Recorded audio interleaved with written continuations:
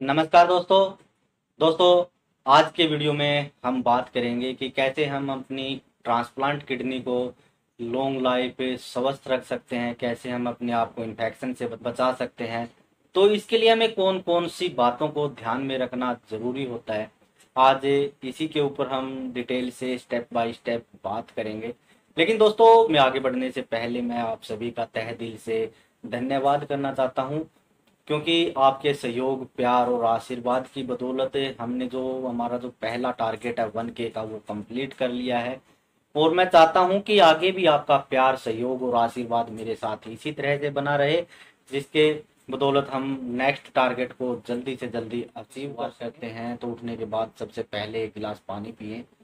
पानी पीने के बाद में हम एक से डेढ़ किलोमीटर की सैर हमें ज़रूर करनी चाहिए और हो सके तो सैर के बाद 30 से 45 मिनट की एक्सरसाइज या फिर योगा हमें ज़रूर करनी चाहिए। दोस्तों, हमें उन लोगों से मिलने से बचना चाहिए जो जिसे किसी प्रकार का इन्फेक्शन हो। पोल्यूशन जहाँ पर है, वहाँ पर हमें जाने से बचना चाहिए। और अगर आप घर से बाहर निकलते हैं तो हमें मास्क का प्रयोग ज़रूर करना है। दोस्तों, इसके अलावा पूरे दिन में चार से पाँच लीटर पानी अवश्य पिए, चाहे मौसम कैसा भी हो, सर्दी या फिर गर्मी। दोस्तों, इसके अलावा एक हेल्दी डाइट को हम फॉलो करें। जो हमारी एंटी रिजेक्शन मेडिसिन है, उसको हम कभी भी स्किप ना करें। जो टाइम हमारा सेट किया गया है, उसी टाइम पर हम अपनी मेडिसिन को लें। अगर इमरजेंसी है तो दस मिनट हम लेट या फिर पहले ले सकते हैं। दोस्तों, इसके अलावा अगर हमारे बॉडी के अंदर किसी प्रकार का कोई इन्फेक्शन है तो बिना हमारे डॉक्टर की राय के हमें कोई भी मेडिसिन नहीं लेनी है। चाहे नॉर्मल से नॉर्मल सर्दी, जुकाम भी क्यों ना हो। तो इसके अलावा तो सबसे इम्पोर्टेंट है कि जब भी हमें डॉक्टर बुलाते हैं, उस टाइम पर हमें ज़रूर जाना चाहिए। दोस्तों, इसके अलावा जब भी हमें डॉक्टर बोलते हैं ब्लड टेस्ट करवाने के लिए हमें वो भी करवाना चाहिए टैग लेवल के लिए।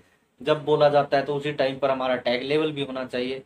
डॉक्टर के कहे अनुसार अगर चलते हैं तो हमारी जो लाइफ है, एक स्वस्थ इंसान की तरह से हम जी सकते हैं। टाइम टू टाइम हम डॉक्टर के टच में रहते हैं मेडिसिन को अच्छे से फॉलो करते हैं।